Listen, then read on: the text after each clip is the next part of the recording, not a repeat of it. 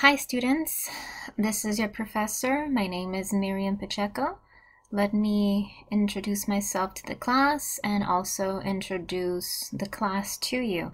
So with this presentation, um, I'm going to begin chapter one of our book, Becoming a Master Student by Dave Ellis. We're going to talk about the introduction and chapter one, so the Master Student slash first steps.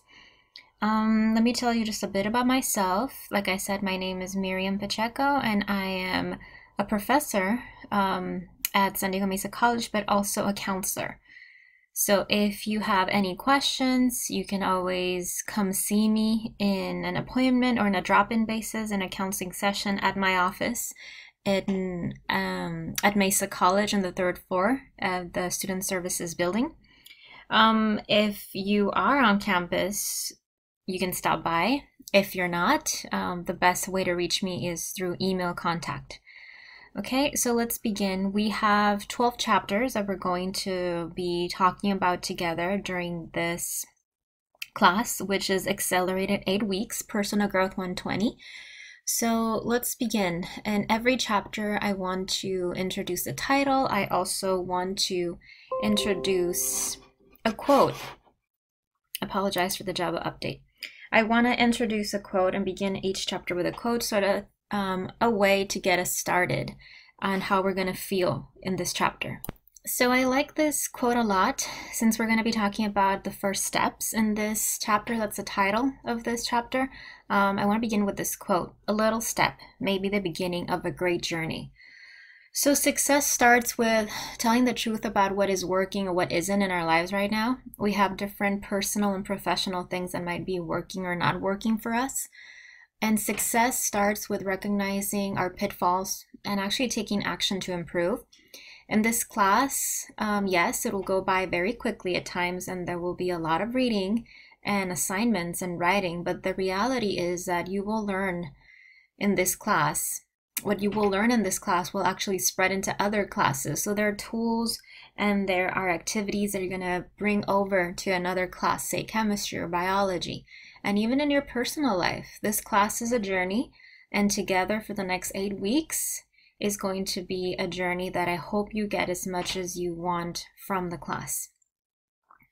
So, what you will be learning in this chapter is learning styles, discovering how you learn the learning style inventory, using your learning style to promote your success.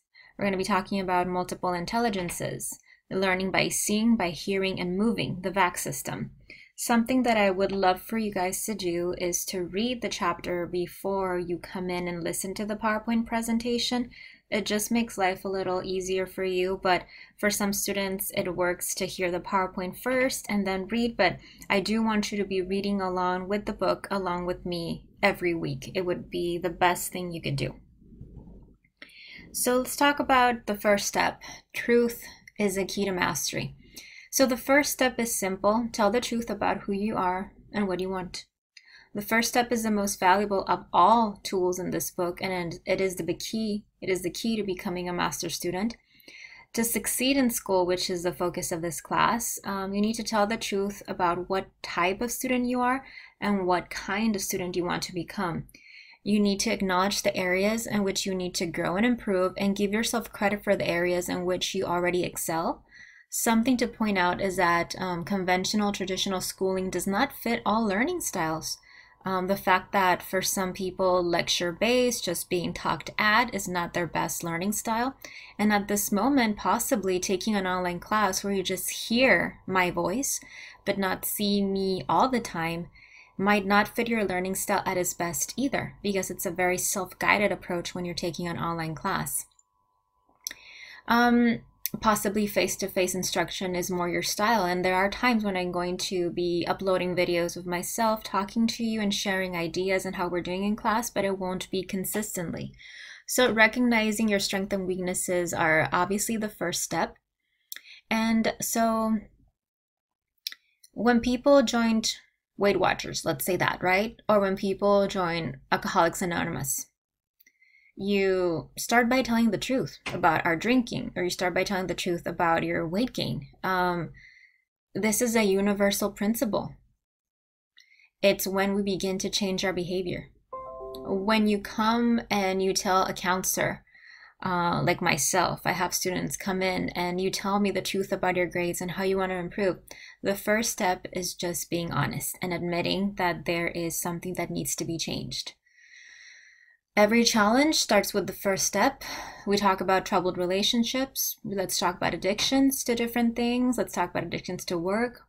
So, I'm going to be referring to the term master student because that's the title of our book, but master students get the most value from a first step by turning their perceived weakness into goals. Saying, I don't exercise enough turns, and say, I want to briefly Exercise for 30 minutes at least three times a week and starting with baby steps. Something you can do with this class because it's accelerated, um, I would suggest that you try to read as much as you can and set a time to read beforehand so you don't fall left behind. That's the little improvements you can make.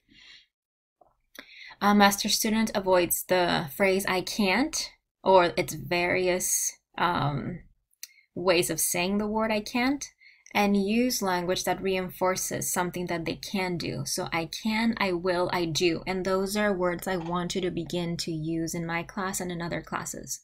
So the first step is specific. So be specific in what you plan to achieve. And you might say something like, I want to take legible notes that'll help me predict what questions on the final exam will be. Remember, you're going to have journal entries. Um, for some of the chapters, discussion board for every chapter.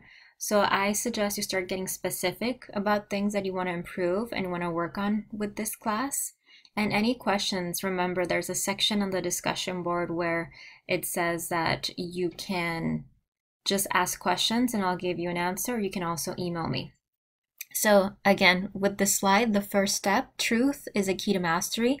Why success starts with telling the truth how you can use a tool. Let's say, let's for this chapter, skim this chapter for three techniques that you like to try this week.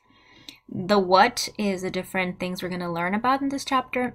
And what if I could start to create new outcomes after reading this chapter?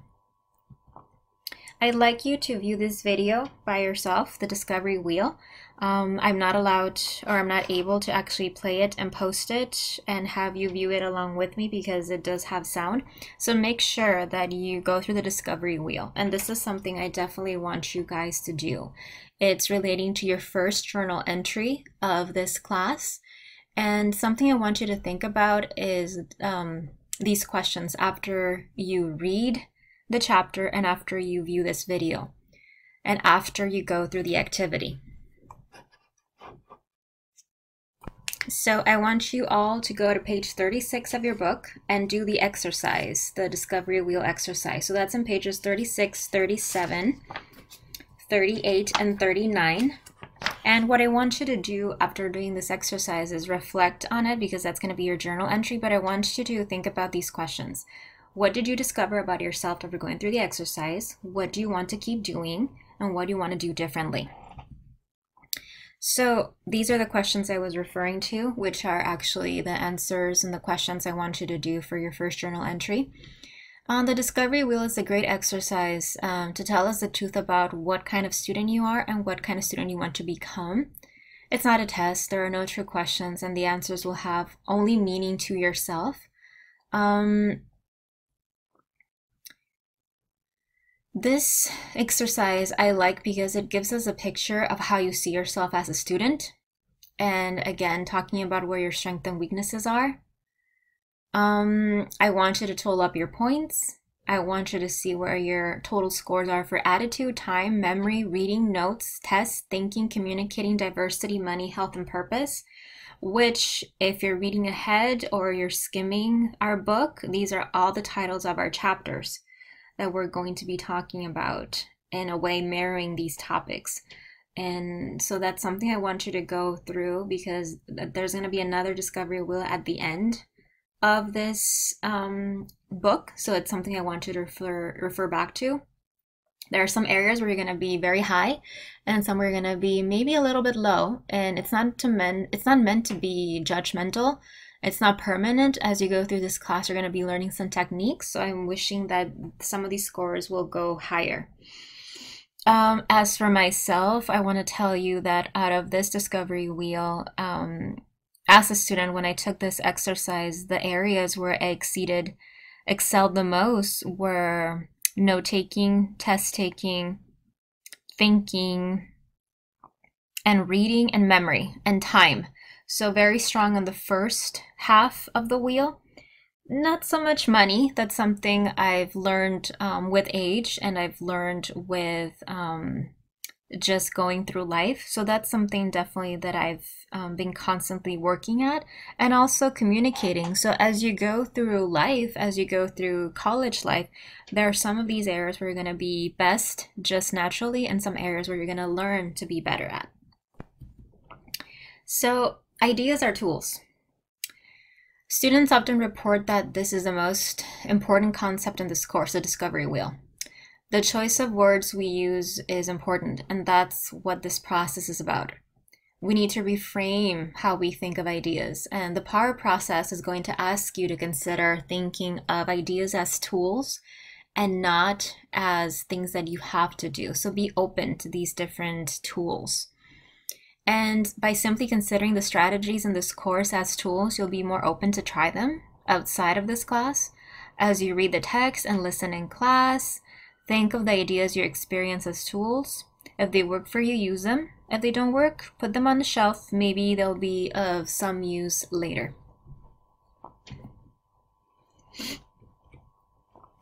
Um, let's talk about the different tools or method or habit or approach. Um, you might use some of these already. Note taking, memorization skills, how to write an essay, preparing a presentation, getting to actual quality sleep at night, how to lose weight, exercising, finding a job, choosing a pet, asking someone out a date, traveling to class, planning a class schedule. These are all tools or methods or habits or approaches that you use, whether or not you're actively thinking about them. But you might find after this class that there are some other tools and approaches that you weren't aware of. And that's something that, as a master student, you will learn. This next video, I want you to just have a moment to look through and hear it. It's about how college students um, transition from high school to college. It's a short movie clip. College is an experience all to itself, and it is much more than just learning academics. When you're coming to college, it's not just about mastering your subjects, it's also about learning how to live on your own, possibly juggle work life and living on your own independently, possibly for the first time, making friends, transitioning into adulthood, making different choices about love and relationships and money. So, transitioning from high school to college is definitely not something that's easy for most of us, but it is something that's incredibly rewarding after we've learned to master certain things. From right now, I want to talk about um, a chapter that when I'm teaching Psychology 101, which is something that I also do, I refer to because in this chapter, there is a part of it where it talks about sensation and perception before we begin to talk about learning styles. So I wanted to share a slide that I actually use in my Psychology 101 class when I'm working with students. So what is sensation? Sensation is the process of how you detect information from the outside world and you convert it from the raw sensory data that you're getting from the outside world into your brain. So when you're using your five senses, you're using your ears, your uh, eyes, your nose, your tongue, your skin, and, and internal body tissues, and you're using your senses to capture information from the outside right now. Right now, you're using your ears a lot to listen to me. And those waves are things that your senses capture, and that's the process of sensation. Perception is when we select that information that we got from the outside world, we organize it, and we interpret it into something that's meaningful, or we learn to interpret it. That's the process of perception. Reason why we're talking about this is for the next um, slide.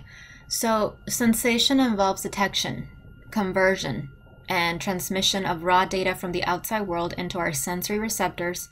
To then make sense of these sensations, we organize it, we interpret it in a process called perception. So if you notice, let's talk about what's on the slide right now.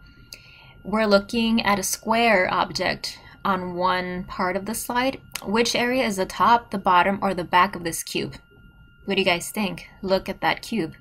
What is the top, the bottom, or the back? Yeah, depending on how you're looking at it and how much you stare at it, you're viewing different parts that are the top, the bottom, and the back. Also, the image, is this a young woman looking over her right shoulder? Or is it an older woman looking downward? I'll give you a few seconds to look at that, but this image has both a young woman and also an older woman. Maybe come back to see that for those of you who haven't seen both images. When you're viewing these images, your visual sensory system receives an assortment of light waves. That's the process of sensation. Right now we're using our eyes. Interpreting the lines as a cube or as an old young woman, that's the process of perception. And this is important because this is how we learn. It's part of the process of learning. So it's sort of similar to, say, when you're getting a new cell phone, you're in the process of that, or you just got one um, and you get a phone that has way more features than your the phone that you've had before and you have some options for learning how to use it okay so perceiving how we take in the information processing how we think about that information so let's go back to the idea of a new phone some people would use one of these five different um, techniques in order to learn how to use it first technique you just get the phone in your hands you push some buttons and you see what happens. Second option, you recall how you used your old phone and follow those steps to see if it works on this new phone. Third step, or third option, you remember how you see other people using that phone and you try to copy it. Fourth option, you read the instructions manual and view some self-help videos and go from there. Or fifth option, you ask a friend who has the same phone to help you. Okay, so similar process, perceiving and processing. Let's talk about learning styles. So in this image, and I want you to refer to page 41 of your chapter, that's when we're gonna start talking about the learning styles. So you're gonna see an F on the top for feeling, a W for watching, a T for thinking at the bottom, a D for doing, so these actions illustrate the different approaches that we have to learning. So the five things that I mentioned here of how you would play with this one and try to make it work are the same approaches you would take to learning. So if you're the type of person who would take the approach of getting your hands on the phone right away and seeing whether you can make it work, that's an example of learning through feeling or concrete experience. That's the F on top. If you're the type of person who would try to recall what you, you have done in the past with your prior phone um, to see if that works, that's an example of learning through watching or reflective observation. That's the W. If you're the type of person who would read the manual and watch those videos to help you use a phone, that's an example of learning through thinking or abstract concepts. If you're the type of person who would take the approach of asking a friend to coach you through a hands on activity, that's an example of learning through doing or active experimentation. That's the D. So, in summary, your learning style is unique, is your unique way of how you blend your feeling, how you blend your thinking, how you blend your watching and doing. And you tend to use this approach when learning anything from the use of your new phone to learning calculus to doing chemistry. You be you might be more in the watching and you might be more in the thinking than you are in the feeling and the doing. It depends. Every single person has a different approach. I want you guys to ask yourself three questions using the words that are not your preferred learning style. And the reason why I bring that up, I want you guys to do the exercise in your book about what's your preferred learning style. And that'll be found on page, after page 42. It's an extra area where you actually are going to write. It's LSI 1. I want you guys to see what is your top preferred learning style and ask yourself questions using the words that are not your preferred learning style. We'll continue with that. So I wanted to highlight um, page LSI 8, exactly extracted from your book. Um, and reason why I want to do that is so because this chart identifies some of the natural talents people have, as well as challenges for people who have strong preference for any one mode of learning. You're going to see, let's say, for feeling, strengths, or where you can do too much of this or too little of this and how you can develop it. So, mastering our all four modes requires time, practice, and commitment. You don't naturally do all four super well.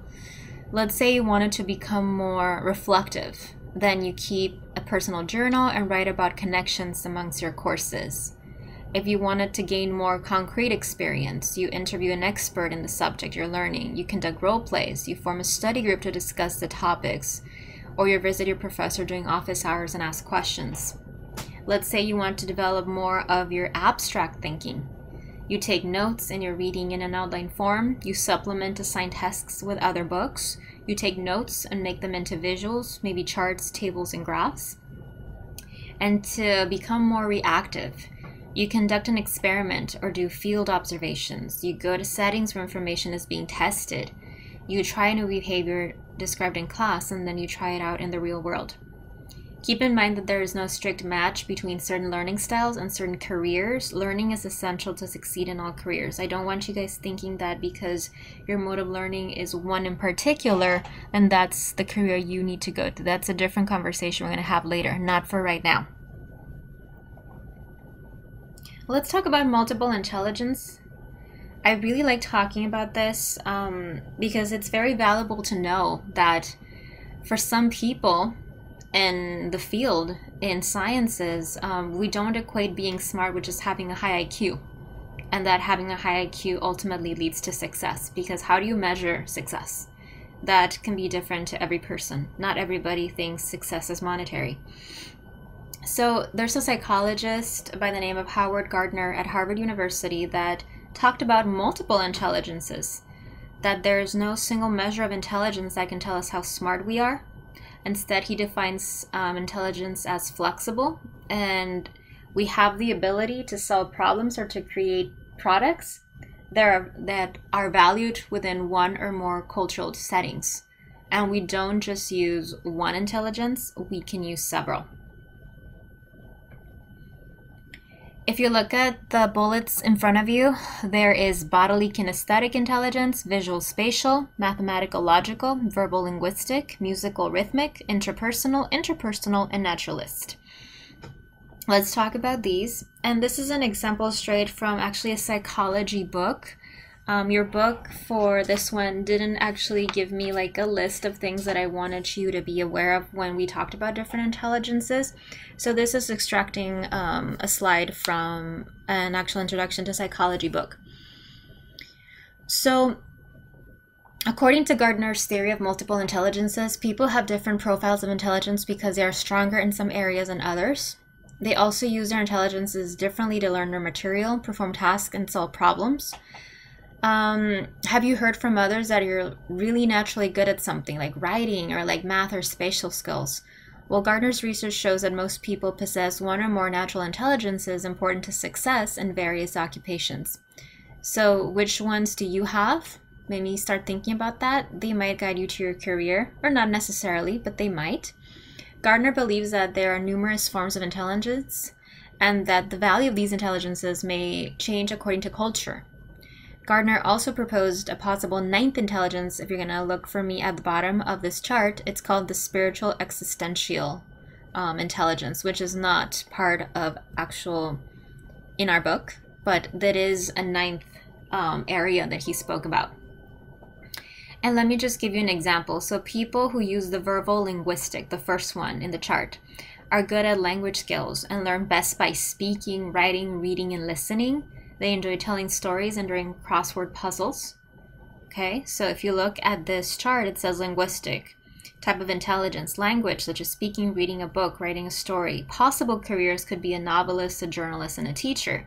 That does not mean that a person who has, let's say, more of a bodily kinesthetic who prefers body movements such as dancing, soccer, and football, and would be a good athlete, dancer, and ski instructor, could not be a good novelist, journalist, or teacher.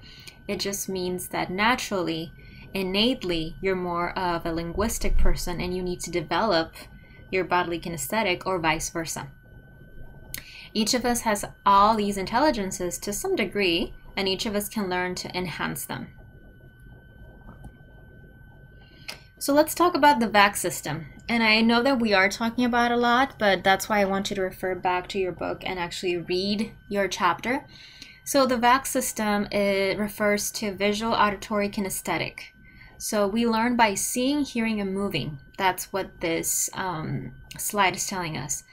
This is another way to understand different learning styles. Three ways of perceiving through your senses seeing or visual hearing, hearing or auditory learning, and movement or kinesthetic learning. The theory is that each of us prefers to learn through one of these senses, and we can enrich our learning with activities that draw on the other channels. Example Think about how you would answer the first question, and for further knowledge, answer every question on page 51. Okay? Think about how you would answer this question.